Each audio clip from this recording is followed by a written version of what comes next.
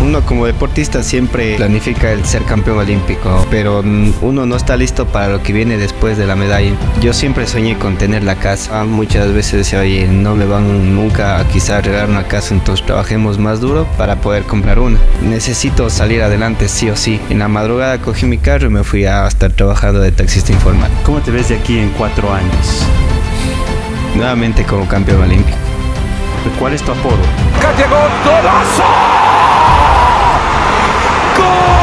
El bicho de la marcha.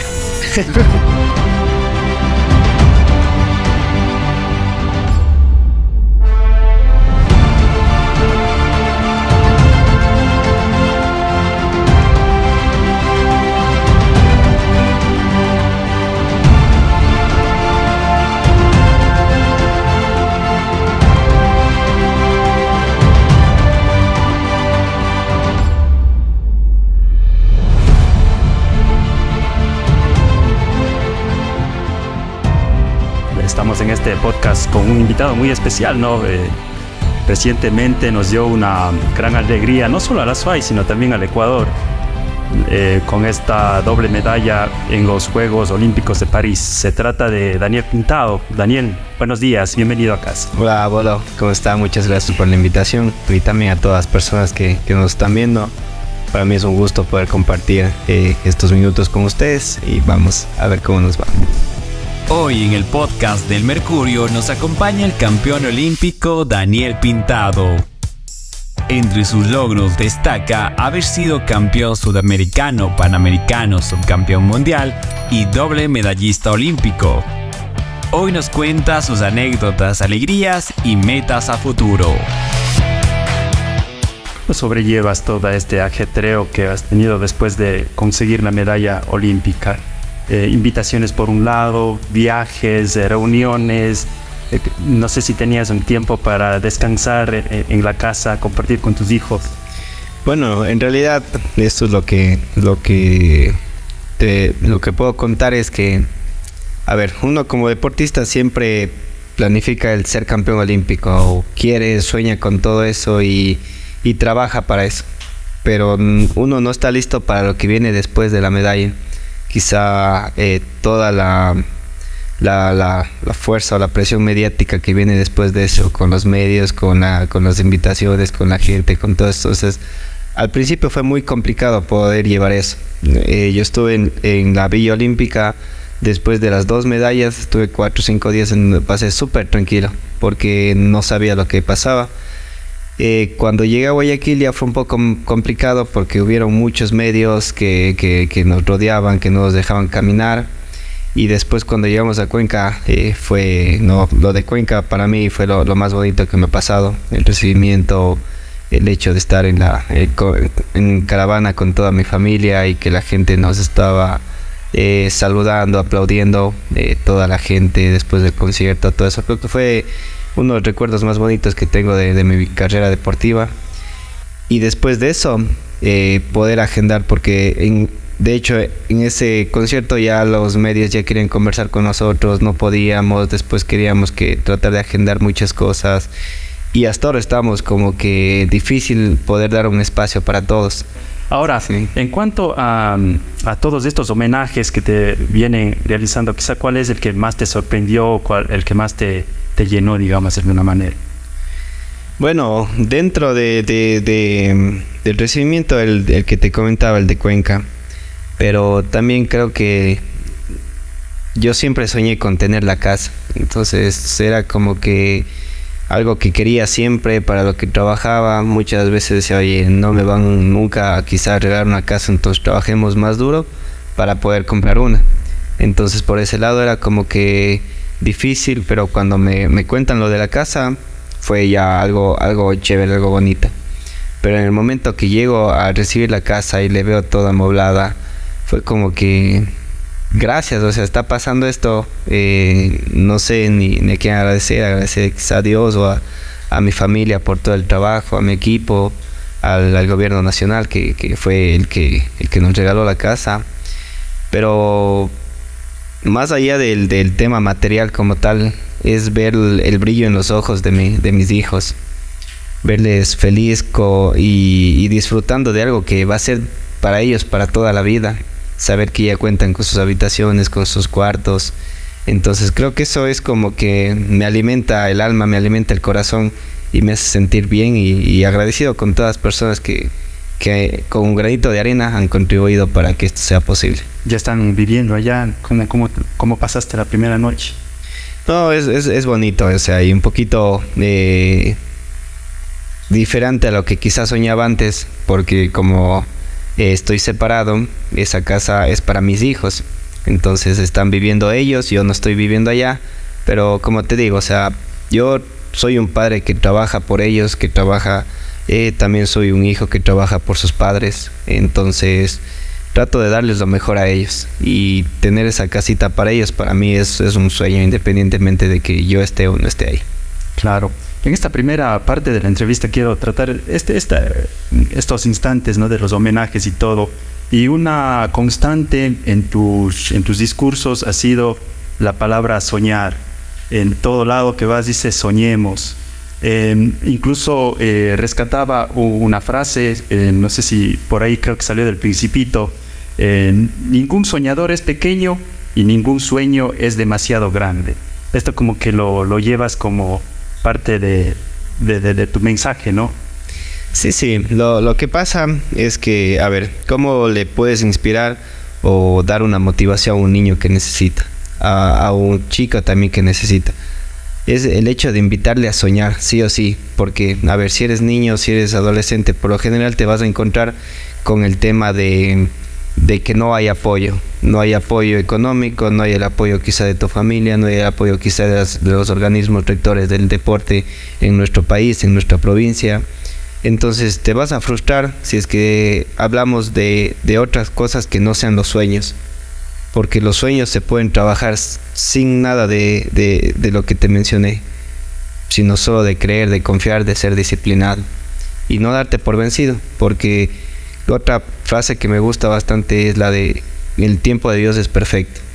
Entonces en ese, eh, en ese aspecto, a lo que te dices que tienes que soñar en grande, ningún sueño es muy grande. Entonces, trabajar para eso día a día con la confianza de que se puede hacer realidad. Obviamente va a ser difícil y, y, tú que has, has, vivido mi carrera deportiva desde que era pequeño, puedes entender cómo, cuántos fracasos he tenido para poder conseguir. Y el único detalle que, he tenido es el no darme por vencido y seguir trabajando, seguir luchando hasta que poco a poco las cosas se han ido acercando. Eh, cuando estaba más cerca de, tener objetivos grandes, empecé a tener problemas personales que fueron un poco más duros y me desviaban quizá de mis objetivos. Pero independientemente de eso, no es darse por vencido, sino seguir soñando, seguir trabajando por ese sueño y a la final, eh, no sé, gracias a Dios a mí se me dio y es el mensaje que yo quiero transmitir a los niños y a los jóvenes que, que trabajen y también para todos en general, que trabajen duro y que, y que sueñen grande. ¿Cómo era de, pequeño Daniel Pintado? ¿Alguien le invitó a soñar a Daniel Pintado? ¿Qué soñaba cuando era pequeño? Bueno, eh, eso fue lo, lo bonito de vivir en Cuenca, que siempre tuvimos grandes deportistas, siempre tuvimos deportistas profesionales entonces yo cuando ya tenía un año, ya teníamos la primera medalla olímpica y era de Cuenca. Entonces ya trabajamos con ese, con ese pensamiento, eh, no yo, sino mi mami. Mi mami ya sabía que era posible, porque había una medalla de, de un joven que era cuencano y era prácticamente de, no, no del barrio, pero era de, de Cuenca. Entonces ese sentimiento nace como que ya se puede, sí es posible. Entonces mi mami desde pequeño que con mi hermano me decían, ustedes pueden llegar a ser grandes, ustedes pueden ser campeones olímpicos. Y nosotros vamos a la escuela de marcha en donde sabíamos que entrenaba eh, nuestro campeón olímpico, donde había muchos más profesionales también entrenando ahí. Y empezamos a jugar, a jugar a los Juegos Olímpicos, a, a decir que estamos en los 20 kilómetros, a decir yo soy el español, yo soy el ruso, yo soy el ecuatoriano etcétera, etcétera. Entonces desde ahí ya estábamos soñando, no lo sabíamos, pero ya estábamos soñando. Después eh, te encuentras con deportistas como Andrés Chocho, como Claudio Villanueva, que sueñan también que, y, le, y, les, y convives con ellos todo su trabajo diario, toda la disciplina que tienen y todos los resultados que van teniendo. Entonces eso te invita a que los sueños que tienes se vean más cercanos, o sea, los sientas que, que se pueden materializar, que se pueden hacer realidad. Y poco a poco vas trabajando, vas confiando más, eh, gracias a, mí, eh, gracias a Dios que pude encontrar un, un, gran entrenador y que me pueda cambiar la vida pueda cambiarme los resultados, la mentalidad, etcétera. Y desde ese momento yo lo sentí que cada vez estaba más cerca, más cerca el, el ser campeón olímpico, porque ya fuimos a, al primer campeonato del mundo cuando entrenaba con Andrés, fuimos cuartos, después ya estábamos con medalla mundial, entonces lo que era un sueño ya se estaba convirtiendo en una realidad poco a poco. Claro, y, y en torno a esto de eh, ¿Te gustaba la marcha al, inicio? Eh, porque he conversado con algunos marchistas y ellos dicen, bueno, al inicio como que no, no me gustaba mucho. Incluso te habían puesto en taekwondo en primera instancia, en otras disciplinas, a lo mejor tenías afinidad con alguna de ellas, pero finalmente te quedaste en marcha. Sí, o sea, eh, te cuento que mi mami, yo siento que ella fue la, la que nos preparó para todo esto, porque a ver, ella nos mete primero en natación, porque dice que quiere que trabajemos nuestra, nuestros pulmones, que nuestros pulmones crezcan, que nuestra parte respiratoria sea mejor y que nuestros músculos, todos los músculos en la natación se trabaja, entonces que, que desarrollemos todos nuestros músculos. Entonces, por ese, por ese lado nos meten natación. Después nos ponen taekwondo. ¿Por qué? Porque mi tío era muy buen taekwondocista, de hecho representó a la provincia, fue campeón nacional. Entonces a ella le gustaba mucho eso, porque te daba disciplina, porque te daba flexibilidad. Entonces ya teníamos dos componentes que necesitamos para ser buenos deportistas en cualquier disciplina que sea. Después nosotros con, con, con mi encontramos el atletismo por las pruebas que hacen en la escuela para el cross country colegial o escolar. Eh, de ahí nos gusta mucho más el atletismo, por no sé, a mí me gustó siempre, lo disfruté más pero yo siempre quería ser corredor, no me gustaba la marcha. O sea, no me gustaba la marcha, pero mi año ya se hace marchista, ya gano un nacional y yo era muy competitivo, entonces yo quería eh, también ganar eso. Entonces me meten en un campeonato nacional de novatos en Guayaquil para que haga marcha. Yo no sabía, nunca había marchado, nunca había competido. Entonces compito esa prueba, soy segundo y y eso es como que me invita a soñar también, como que se puede hacer algo con la marcha. Y de ahí pasé muchos años entre que marchaba y corría, iba a los nacionales en las dos pruebas de fondo corriendo y también en marcha. Pero bueno, clasificó un sudamericano en marcha y no en la, en la, en, la prueba que me gustaba, que eran los 2000 metros de fondo. Y en ese momento se acercó el, el, el Luchito Chocho. Dijo, Daniel, o sea, ya es momento de decidir que si quieres ser marchista o corredor. Eh, te estás yendo a un sudamericano como marchista y como corredor no te avanzó. Entonces creo que debes tomar la, decisión más inteligente, que fue dedicarme ya a la marcha al 100%. Y pues no, nunca se equivoca el profe Lucho. Claro, hablas constantemente de tu madre, doña Eulalia Álvarez. ¿Ella marcó tu carácter? ¿O, o por qué no nos referimos mucho a, tu padre, por ejemplo, a don Austo. Eh, constantemente él, claro, estaba en la carpintería, ¿no? Creo que eso también un poquito hacía que tu madre esté más pendiente de ti. Sí, sí. O sea, yo estoy agradecido por los dos. Es verdad que casi nunca le he mencionado a mi papá, pero bueno, no sé, el ejemplo que él me dejó que es una persona muy trabajadora, que se deja el, el alma por, por su familia y prácticamente de lunes a domingo siempre ha pasado trabajando y eso es hasta ahora, ya tiene 66 años y, y lo sigue haciendo y se le ve una persona muy fuerte. Y eso le dio la, la posibilidad a mi mami, ella era comerciante informal, entonces eh, cuando tenía tiempo iba a hacer los, sus negocios, eh, cuando nosotros estábamos en la escuela o entrenando y de ahí también pasaba bastante tiempo con nosotros. Entonces todos los campeonatos nacionales, perdón, ella siempre viajó conmigo. Los campeonatos americanos trataba de viajar conmigo. Y cuando fueron los Juegos Olímpicos en Río 2016, ella no dudó de viajar 15 días en carro para poder ver a su hijo cumplir uno de los sueños que tenía. Entonces, por todo eso siempre dije, o siempre le pasé mencionando a mi mami porque siempre tuve cercanía con ella. ¿Fue ese momento el más privilegiado que pasaste con, tu madre o hay otro más? O sea, tengo un montón de, de, recuerdos muy bonitos con ella. De hecho, recién subí a redes sociales una foto en la que estamos corriendo los dos. Ella, no sé si es que yo le estoy acompañando en una carrera a ella o ella me está acompañando a mí, pero me trae muchos recuerdos bonitos. Eh, recuerdo que después de mi competencia en Río, yo estaba súper triste eh, por el resultado y me acuerdo que le, me, le vi a ella, le, le abracé y me puse a llorar. Y nada, solo me dijo que tenga paciencia, que, que aún soy joven, que, que, tenga paciencia y que, y que no me dé por vencido. Claro, eh, para ir en esta línea familiar, recuerdo en algún momento eh, que decías, Daniel, que eh, cuando tu vida empezaba a desmoronarse, llegó tu hijo Nico. Y es por eso que no sé si es así que en cada competencia, en cada, a cada lugar que vas, les tienes pendientes a tus hijos. No sé si nos puedas contar un poquito por qué decías que tu vida se estaba desmoronando y justo llegó el campeón pues a cambiarte la vida. Es que yo creo que cuando tienes un hijo te cambia totalmente la mentalidad. Dejas de pensar eh, en vos o como un muchacho, sino ya tienes una responsabilidad que sacar adelante a ese campeón. Entonces yo, claro, me, me, eh, me hice padre muy joven, a los 19 años. Y bueno, o sea, en ese momento era difícil porque quizá teníamos que cambiar de categoría, no habíamos tenido resultados tan importantes en la categoría juvenil como para saber que vamos a estar en beca, pero tenía ya una responsabilidad, entonces ya no era del hecho de, de ser joven, salir de fiesta, el estar con los amigos, el de no dedicarse a entrenar, porque si hacíamos eso, ¿cómo alimentábamos a nuestro hijo? Porque al final es eso, él necesita de nosotros.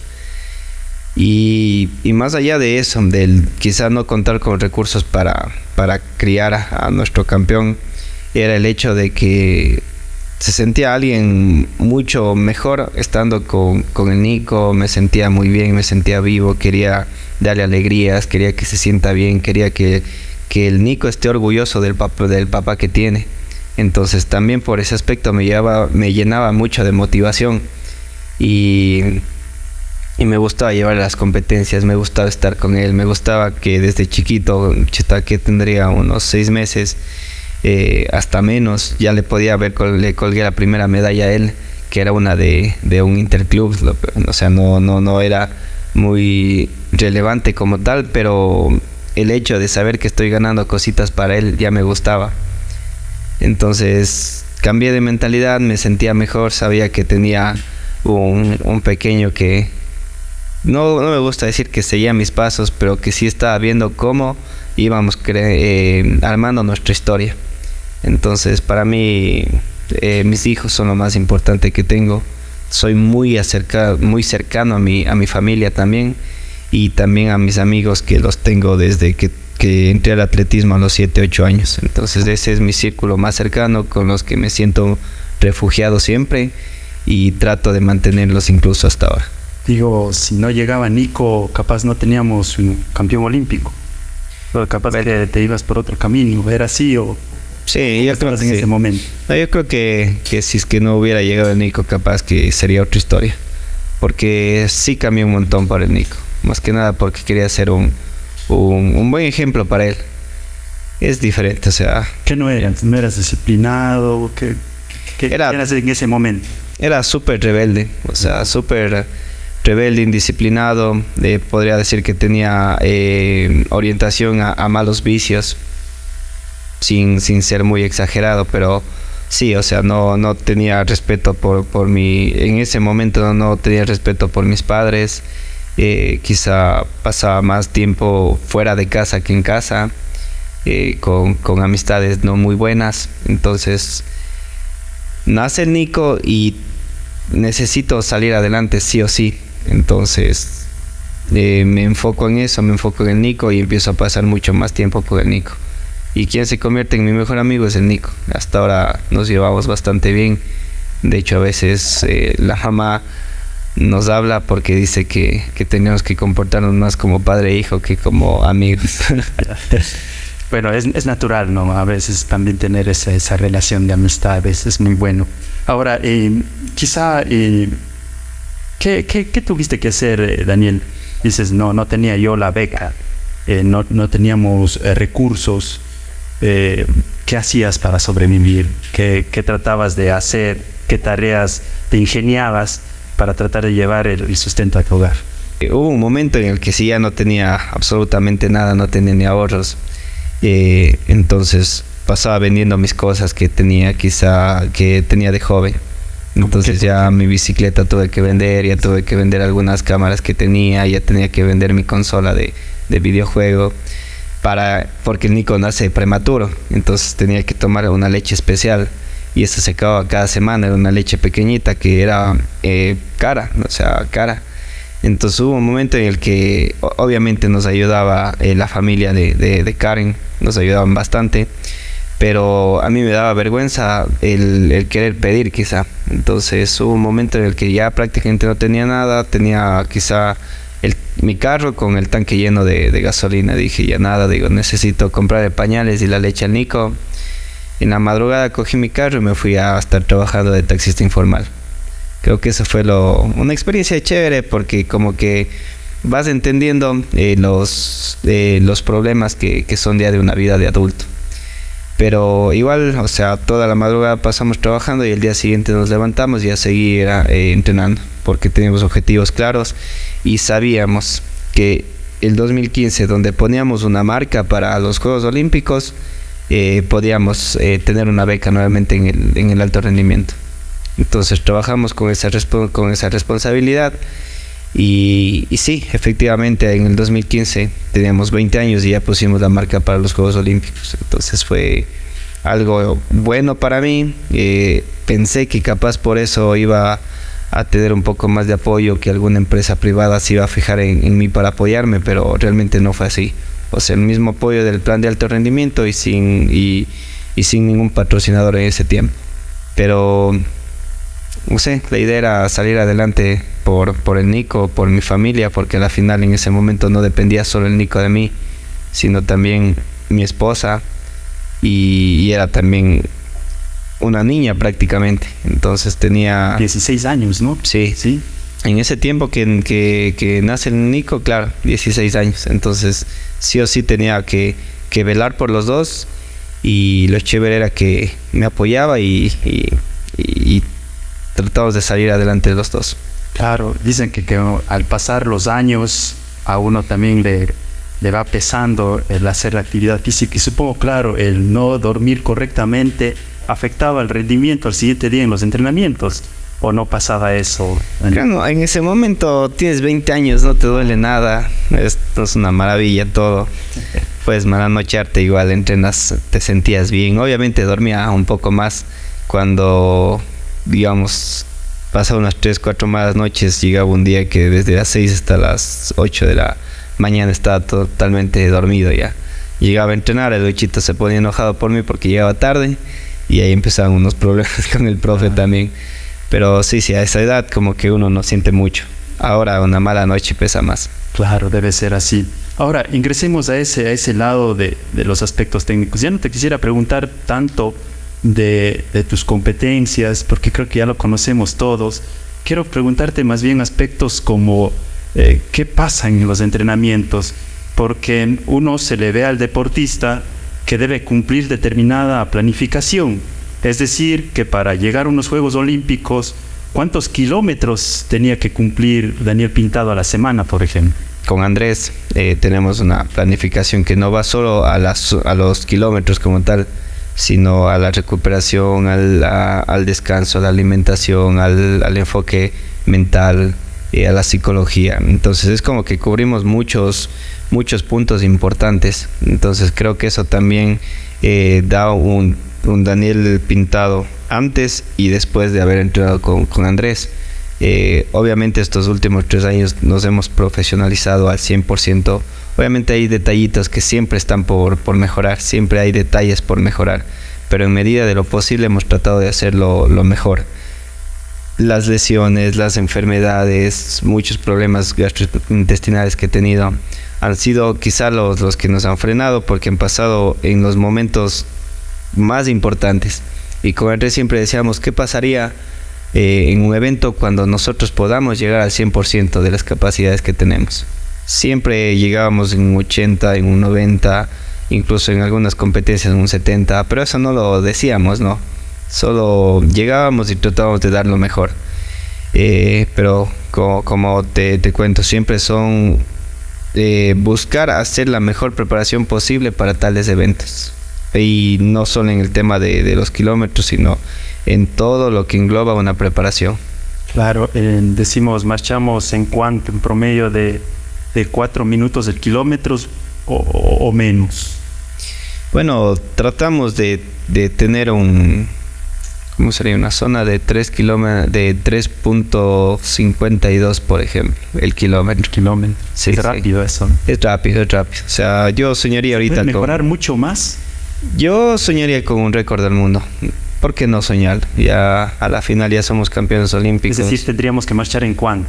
Es, uh, chútame, se puso difícil. Creo que es 3.49. 3.49 ya. Sí, sí. El, mantener un ritmo a 3.49 es bien duro. Sí, es duro, sobre todo mantener los 20 kilómetros, porque obviamente se va a salir un poco más suave y al final se tiene que cerrar un poco, o un poco más fuerte. Pero la competencia, toda competencia es diferente. Cuando buscas un podium, eh, no te importa mucho el ritmo.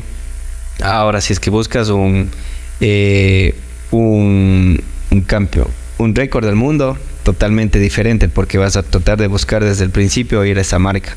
Entonces, la idea sería esa, buscar el récord del mundo, pero ya planificar para hacer un récord del mundo. En otro evento ya planificar para ser campeones de campeones mundiales, por ejemplo. ¿Cuál es tu sueño ahora, Daniel? Eh, ¿Ir por el récord o de pronto se ve ya Japón en el mundial ir a pelear por esa medalla de oro que quizá te falta un, un campeonato del mundo, sí. mundial, claro. Sí, sí.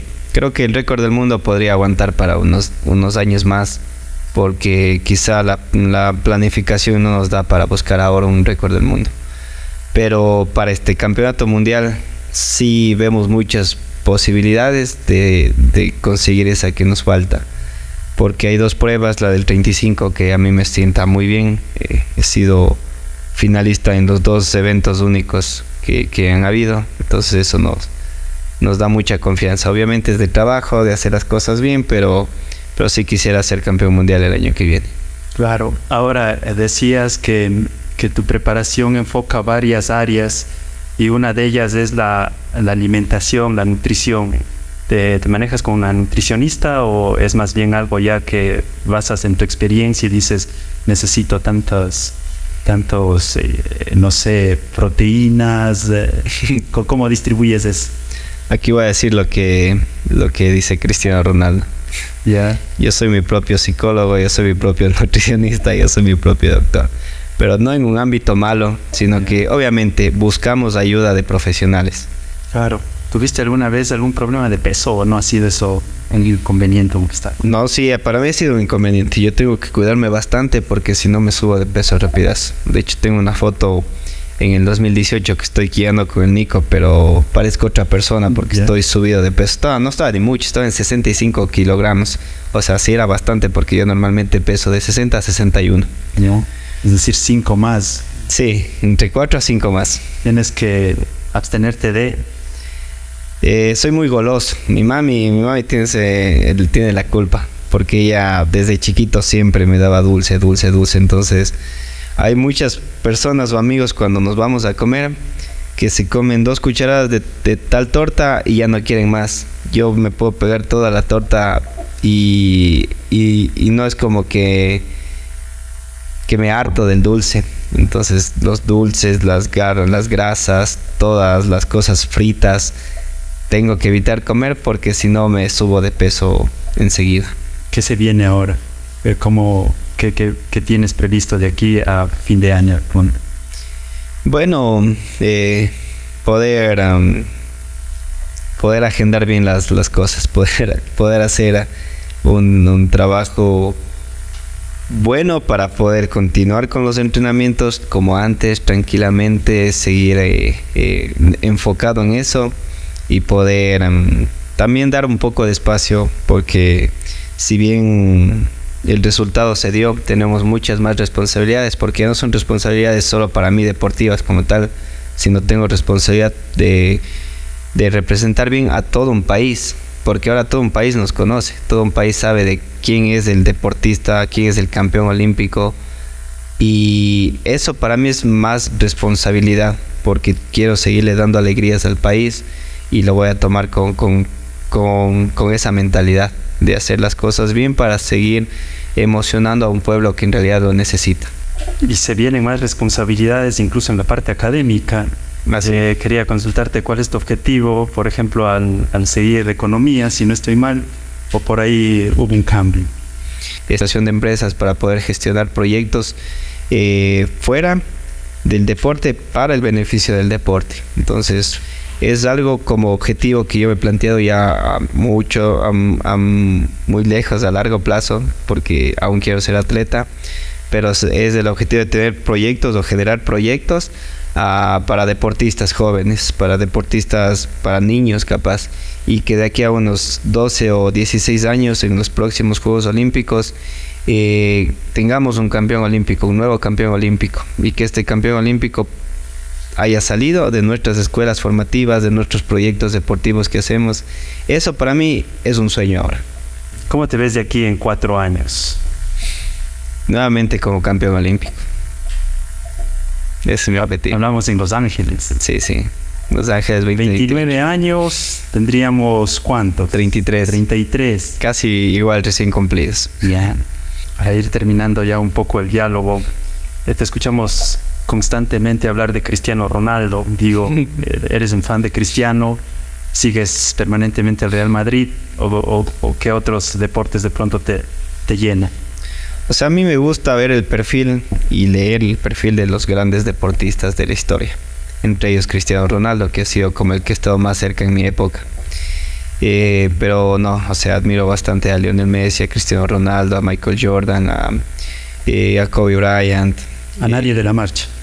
De marcha, Andrés Chocho. Andrés Chocho. Andrés Chocho es un crack pero me baso mucho en lo que hacen ellos. De hecho, tengo un, o tenía antes un ritual muy similar a lo que hace Cristiano, que es el yo me levanto, me, doy un, duchazo en agua helada, salgo a ver cómo está el clima, eh, vuelvo, me tomo un café y empiezo mi, rutina diaria. ¿Hacías antes eso? Yo lo estaba haciendo para los juegos y de, de hecho me sentía bastante bien. Solo que me enfermé de... Me dio pulmonía porque me fui unos días a, a firmar unos comerciales en la madrugada. Entonces ya tuve que dejar de hacerlo por ahora. Ahora, eh, en torno a... ¿Eres muy cabalístico de pronto? Eh, no sé, digo... recordamos en alguna competencia llevabas un arete y ah, de pronto decías que eso te pudo haber dado de pronto algo de, no sé si llamarlo suerte, porque eh, ustedes eh, en los entrenamientos es que ya trabajan para tener resultados en las competiciones. Luego llevaste, si no mal recuerdo, en París un dije que te regaló tu, tu hijo, Nico. Y también están las cuelleras de que las realizó tu, tu madre con un, un mensaje muy, muy, muy profundo. Eh, no sé si eres de, de llevar esas cosas porque sientes que te va a ir mejor en las competencias. Bueno, en realidad no es como que pienso que me va a ir mejor por, e, por ese tipo de cositas, sino que mm, me gusta por lo que representan ya. Entonces él dije, me regaló mi, mi hijo, entonces para mí ya tiene un valor muy, muy especial. Las cuelleritas, mi mami toda la vida sé si, si a la mayoría de deportistas ecuatorianos ves con esas cuelleritas son son Madein, Eulalia Álvarez. ¿Ah, sí? Ella sí, sí. todos los deportistas. Sí, sí, la mayoría, eh, la mayoría, no todas. y, y, por qué se vuelve especial? O sea, y es especial por el simple hecho de que hace mi mami con el prototipo que nosotros le pedimos. Pero ella me dice, oye Dani, te tengo una sorpresa, verás ahí cuando te lleguen. Me llegan las cuelleritas con la frase de con Dios todo es posible. Entonces ya se hizo especial también para mí. De ahí hay trato de tener esas, esas cositas que son especiales más para que cuando lo logren la gente me pregunte y me diga por qué lo usaste y ahí sí tener el, esa ancla de decir no, lo hice por mi hijo, lo hice por mi madre, incluso para tener recordatorios que es por ellos y que ellos estuvieron conmigo en la competencia. Hay muchos aspectos que dialogar, ¿no? Ahora vamos a hacer una especie de, de un ping-pong, de una pregunta, tú, tú le sueltas una respuesta algo rápido ya para cerrar este diálogo, no sin antes agradecerte Daniel por habernos aceptado esta entrevista. A ver, ¿cuál es tu apodo? El bicho de la marcha. Comida favorita. El secto de gallina. Género musical. El hip hop y el rock. Mejor amigo. Eh, Juan Diego Pacheco y Nicolás Pintado. ¿Serie o película favorita? Eh, la nueva de, de, de, Deadpool. la última y la serie es Breaking Bad. ¿Equipo de fútbol? Deportivo Cuenca. ¿Mayor virtud? Eh, chuta, ahí sí no, no me pueden decir eso a mí. Yo creo que es ser sencillo. ¿Mayor defecto? Es ser molestoso, así, demasiado molestoso. ¿Sueño por cumplir? Eh, un récord del mundo. ¿Mejor ciudad del mundo? Cuenca. Perfecto. Listo, tu mensaje, Daniel, finalmente a todos quienes estarán pendientes de este diálogo que hemos tenido, muy ameno. Eh, ¿Qué, quisieras, eh, cuál sería tu mensaje para todos ellos? Bueno, primero agradecer a Bolo por la invitación, a todo el equipo de, Diario El Mercurio, que hace un excelente trabajo para comunicar a, a, la ciudadanía lo que, lo que está pasando. Y a toda la gente, gracias por, por ver este episodio, gracias por, por todo el cariño que me han estado dando eh, en cada momento que, que voy por Cuenca. Y nada, sigamos soñando en grande. Les invito a soñar a todos a ustedes. Lo primero para soñar es plantearnos un objetivo grande. Después ser muy disciplinados y trabajar día a día día para hacerlo realidad. Eso nada más y muchas gracias. Perfecto. Gracias amigos por habernos acompañado. Hemos tenido un diálogo, eh, como decíamos, de detalles quizás que van muy por detrás ¿no? de un deportista que muy poco se, se suele eh, difundir. Eso era nuestra intención y esperamos pues que, que les guste este trabajo que lo hemos realizado acá con el grupo de producción de Diario El Mercurio. Hasta la próxima.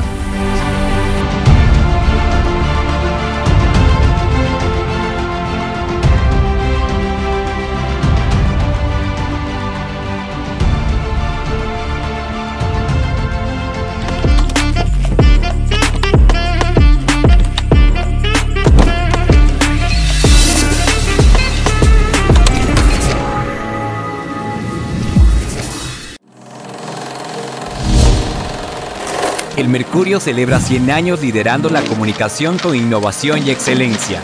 Por otros 100 años junto a Cuenca, el Austro y el país. En elmercurio.com.es, la historia continúa.